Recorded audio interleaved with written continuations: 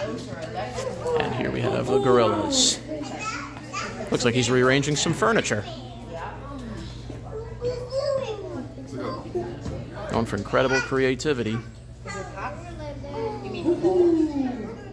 And very highly intelligent. Oh, here we go.